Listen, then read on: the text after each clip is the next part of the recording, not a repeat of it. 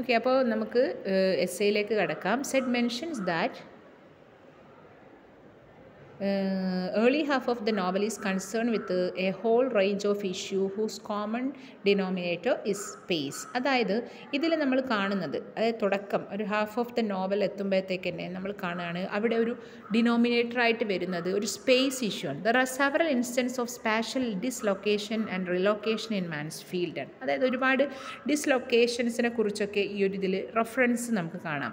Novel is situated around diverse interest and issue that extend across hemisphere include two major seas and involve four continent അതായത് നോവലിന്റെ പ്രത്യേകത എന്ന് പറഞ്ഞു കഴിഞ്ഞാൽ അതിൽ ഒരുപാട് ഡൈവേഴ്സ് ഇൻട്രസ്റ്റ് ആൻഡ് ഇഷ്യൂസ് ഉണ്ട്.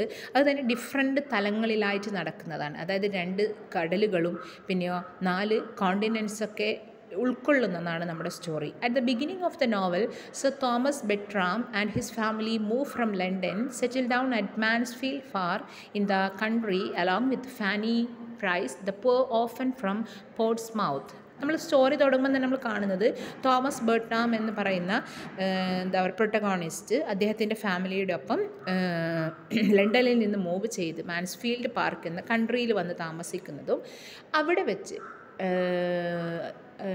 അവിടെ ഫാനി പ്രൈസ് എന്ന് പറയുന്ന ഒരു പോ ഓഫൻ ഉണ്ട്. She is coming from Portsmouth Fanny Price eventually acquires a position similar to other fortunate relative of the Bertrams and towards the end of the novel become a spiritual mistress of the Mansfield. ഈ സ്റ്റോറിയിൽ നമ്മൾ കാണുന്നത് ഈ Fani price എന്ന് പറയുന്ന poor ആയിട്ടുള്ള വളരെ എന്താ പറയുക ഒരു ഗ്രാമീണയായിട്ടുള്ള ഒരു യുവതി അവരെന്ത് ചെയ്യാണ്? ഒരു ഹൈ പൊസിഷനിലേക്ക് എത്തിപ്പെടുന്ന ഒരു സ്റ്റോറിയാണിത് അതായത് ബർട്ട്നാമിന്റെ മറ്റു മക്കളെപ്പോലെ മറ്റു മെമ്പേഴ്സിനെ പോലെ അവരും ആ പൊസിഷനിലേക്ക് എത്തുന്നതാണ് സ്റ്റോറി അവിടെ സ്പിരിച്വൽ മിസ്ട്രസ്സായി മാറുകയാണ് മാൻസ്ഫീൽഡ് പാർക്കിന്റെ the family sustenance depends on economic gains from Bertram estate in Antigua in Caribbean അതായത് ഫാമിലിയുടെ നിലനിൽപ്പ് എന്ന് പറഞ്ഞു കഴിഞ്ഞാൽ അവർക്കുണ്ടാകുന്ന എക്കണോമിക് നേട്ടമാണ്. എവിടെ നിന്ന്? ബെട്രാം എസ്റ്റേറ്റ് ഇൻ ആൻഡിഗ്വ ബെട്രാമിന്റെ ആന്റിഗ്വ എന്ന് പറയുന്ന കരീബിയയിലുള്ള എസ്റ്റേറ്റിൽ നിന്ന് കിട്ടുന്ന പണമാണ് അവരുടെ എന്ത് വരുമാനം എന്ന് പറഞ്ഞാൽ.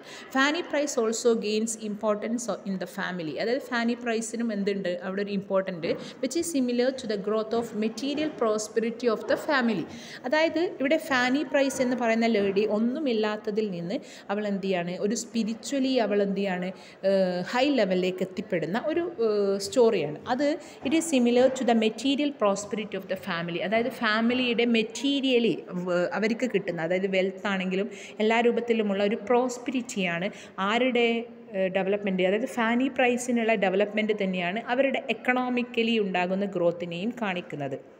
Therefore the two apparently dissimilar but simultaneous process develop ഇതിൽ രണ്ട് പ്രോസസ്സ് ഡെവലപ്പ് ചെയ്യുന്നുണ്ട് ഒന്ന് ഫാനി പ്രൈസിന്റെ ഡെവലപ്മെന്റും ഒന്ന് അവരുടെ ഫാമിലിയുടെ economic ഡെവലപ്മെന്റും so Thomas is often away from the family to maintain his colonial estate and in his absent there is a chaos in the house അതായത് Thomas Bertram എപ്പോഴും വീട്ടിലുണ്ടാവാറില്ല. അദ്ദേഹം തന്റെ ഈ ഒരു എസ്റ്റേറ്റ് നോക്കിക്കൊണ്ട് നടത്താൻ വേണ്ടി എവിടെയാണ് പോർട്സ് സോറി എസ്റ്റേറ്റ് സ്ഥിതി ചെയ്യുന്ന ആന്റിഗ്വ അതായത് കരീബിയൻ സ്ഥലത്താണ് ഉണ്ടാവാറ്.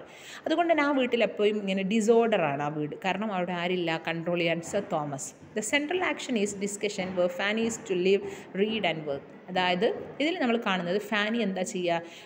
ആരുമില്ലാത്ത സമയത്ത് വീട്ടിലിരുന്ന് read and work While her cousins are mainly involved with improving their property, their estates, a conflict develops when French plays proposed to be staged, but the activity stops when Sir Thomas return. അതായത് അവിടെ അവരുടെ കസിൻസൊക്കെ അതായത് sir തോമസിന്റെ മക്കളും അവരുടെ റിലേറ്റീവൊക്കെ ഇങ്ങനെ prosperity അതായത് material ഗെയിനിന് വേണ്ടി നോക്കുമ്പോൾ ഇമ്പ്രൂവ് ചെയ്യാണ് അവരുടെ പ്രോപ്പർട്ടി ഇമ്പ്രൂവ് ചെയ്യാൻ വേണ്ടി പ്രോപ്പർട്ടി ഇനിയും ഇനിയും എന്ന രൂപത്തിൽ അവരിങ്ങനെ വാരിക്കൂട്ടാൻ നോക്കുമ്പോൾ നമ്മുടെ ഫാനി എന്താ ചെയ്തത് അവർ പഠനത്തിലും അല്ലേ വായനയിലും കൂടുതൽ എന്ത് ചെയ്യാണ്? കോൺസെൻട്രേറ്റ് ചെയ്യുകയാണ് ചെയ്യുന്നത്. ഓക്കെ അപ്പോൾ പിന്നെ നമ്മൾ കാണുന്നത് ഇതിൽ ഒരു ഇൻസിഡന്റ് നടക്കുകയാണ് ഒരു ഫ്രഞ്ച് പ്ലേ എന്ത് ചെയ്യുമ്പോൾ സ്റ്റേജ് ചെയ്യാനുള്ള ഒരു ശ്രമം നടത്തുമ്പോൾ കുട്ടികൾ അതായത് വീട്ടുകാർക്കിടയിൽ എന്ത് വരുന്നു? ഒരു പ്രശ്നം വരികയും അവിടുത്തെ കാര് കയറി വരുന്നു. സർ തോമസ് തിരിച്ചു വരുന്ന ഒരു കഥയാണ്. അപ്പോൾ Said is of the opinion that Austen brings together the domestic and overseas authoritarian control of the sir Thomas Thomas whose presence is required for maintaining order അവിടെ നമ്മളോട് ഓസ്റ്റിൻ നമുക്ക് പ്രസന്റ് ചെയ്ത് തരുന്നത് ഇതിലുള്ള ക്യാരക്ടറായ സർ തോമസ് എന്ന് പറയുന്ന ആൾ അദ്ദേഹത്തിന്റെ presence വളരെ ഇമ്പോർട്ടന്റ് ആണ്. ടു മെയിന്റെയിൻ ഓർഡർ ഓർഡർ എടുക്കാൻ വേണ്ടി. എവിടെ? ഡൊമസ്റ്റിക് വീടിനുള്ളിലായാലും കടൽ കടന്ന് കരീബിയനിലാണെങ്കിലും എന്ന് പറഞ്ഞാൽ വീട്ടിനുള്ളിലുള്ള കൺട്രോളും അപ്പുറത്ത് കരീബിയയിൽ സാധാരണക്കാരായ പ്ലാന്റേഷൻ വർക്കേഴ്സിന്റെയോടുള്ള അതോറിറ്റിയൊക്കെ അവിടെയൊക്കെ ആരുടെ കൺട്രോൾ ആവശ്യമാണ്?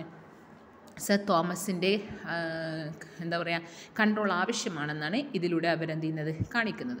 The role of Fanny Price in the Bertram family is not worthy because her gradual growth from poor quarters a Portsmouth to a luxurious at Mansfield park witnessed her movement from a smaller space to an openly colonial one Fanny പ്രൈസിന്റെ ആ ഒരു development role വളരെ important ആണ് ഇവിടെ. അവരുടെ gradual ഗ്രോത്താണ് ഒരു poor ആയിട്ടുള്ള അല്ലെ ഒരു പോർട്സ്മൗത്തിൽ നിന്ന് വളർന്ന് സാധാരണക്കാരിയായി വളർന്നുകൊണ്ട് ഒരു ലക്ഷൂരിയസ് ആയിട്ട് മാൻസ്ഫീൽഡ് പാർക്കിൽ നിന്ന് ആ ഒരു മാനർ ആ ഒരു കൊട്ടാരത്തിൽ വളർന്ന് എന്ത് ചെയ്യുന്ന ഒരു സ്മോൾ സ്പേസിൽ നിന്ന് വലിയൊരു ഓപ്പൺ സ്പേസിൽ അതായത് ഒരു കൊളോണിയൽ ഓപ്പൺ സ്പേസിലേക്ക് എത്തിപ്പെടുന്ന ഒരു റോളാണ് ആർക്കുള്ളത് ഫാനി പ്രൈസിന് space is necessary for an uninhibited and accurate perspective and Fanny returns home അതായത് സ്പേസ് എന്ന് പറയുന്നത് വളരെ നെസസറിയാണ് ഇവിടെ. അവരുടെ ആ ഒരു uninhabit sorry uninhibited and accurate perspective when Fanny returns home finds herself at loss because she misses the size and sociability of the Mansfield park അതായത് അവിടെ സ്പേസ് ഇമ്പോർട്ടന്റ് ആയി വരുന്നത് അവൾ അതുവരെ താമസിച്ചിരുന്ന പോർട്സ്മൗത്തിലേക്ക് ഒരു സമയം തിരിച്ചു പോകുന്നുണ്ട്. തിരിച്ചു പോകുന്ന സമയത്ത് അവൾക്ക് മിസ് ചെയ്യാണ്. അതിന്റെ സൈസ് അല്ലെ? അതിന്റെ സോഷ്യബിലിറ്റി ഒക്കെ. അതാണ് കാണിക്കുന്നത്. അപ്പോൾ അതിന്റെ സൈസ് കാണിക്കുന്നത് മാൻസ്ഫീൽഡും അവൾ അതുവരെ ജീവിച്ചിരുന്ന സ്ഥലവും തമ്മിൽ ഒരുപാട് ഡിഫറൻസുകൾ ആർക്ക് കാണാൻ പറ്റുന്നുണ്ട്? ഫാനിക്ക് കാണാൻ പറ്റുന്നുണ്ട്. Her immediate visit to her family at the original Portsmouth home years uh, later brings out an emotional and aesthetic turmoil in her mind. അവൾ ഒരു വർഷങ്ങൾക്ക് ശേഷം തിരിച്ച് വീട്ടിൽ ചെന്നപ്പോൾ അത് അവൾക്ക് എന്ത് ചെയ്യണം? ഒരു മാനസികപരമായിട്ടുള്ള ഒരു മാറ്റങ്ങൾ ഉണ്ടാക്കണം ഒരു ഈസ്തറ്റിക് ടേമോയിൽ ഒരു പ്രശ്നം ഉണ്ടാക്കണം. When she finds that she has become so accustomed to the comfort and luxury at the Mansfield park that she cannot relish her old home ആണ്.